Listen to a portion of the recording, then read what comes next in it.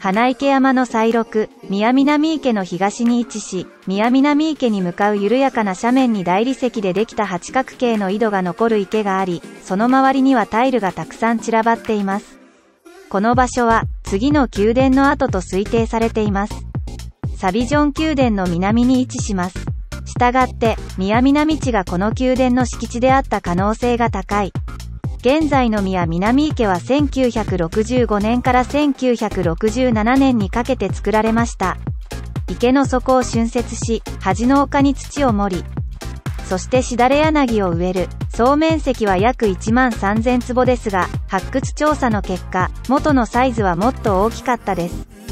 1990年から1993年、1995年にかけて発掘調査が行われ、木や粘土で作られた集水施設、水路、建築現場など寒くて粘着性の土壌である層が、宮南池とその周辺で調査されました。集水施設は東西の長さ11.65メートル、幅3.13メートル。北から南まで、端に沿って2への丸太で作られた壁のように見えます。外側東側、集水施設に近いところ、南北方向に水路が確認され、そして水はこれを通って集水施設に運ばれました。集水施設の西側は水を溜められる6.3メートルのスペースで、東側には浅い和集合型の溝があり、水が流れ込みます。水路から流れ去る。水路は人工物を設置していない自然の水路であり、そして脇に木が立ち並ぶ人工水路。木管は長さ35センチメートル、松材で作られています。35.05センチの四女直に対応確認済み百済時代の遺跡と遺物を調べ、研究に重要な手がかりを与える百済の土量港のこと。また、最古藩などの行政区の名称もあり、木管には、チョングー、下宮と記録されており、従って、文献でのみ確認されていた国威が確認されました。百済の行政制度を研究する貴重な資料としても評価されており、これには5つの部分と5つのセクションがあります。さらに、木製のシャベル、スペード、水路内には木製の食器が設置されています。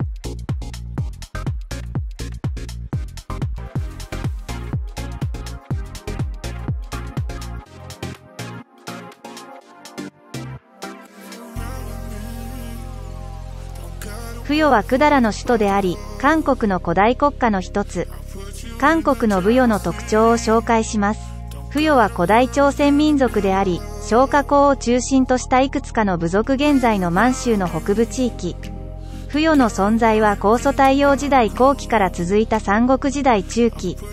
韓国の歴史教育では統一的に説明される全ての韓国の歴史は単軍から始まるという概念と高祖孫ですが、付与は古代の軍事国家です古女さんと同時に共存していたものであり、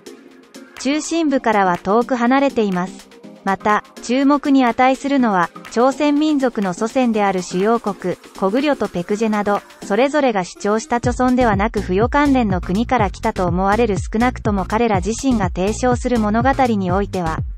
もちろん、高祖孫の順王という説もありますが、マハンの王は南へ行きました。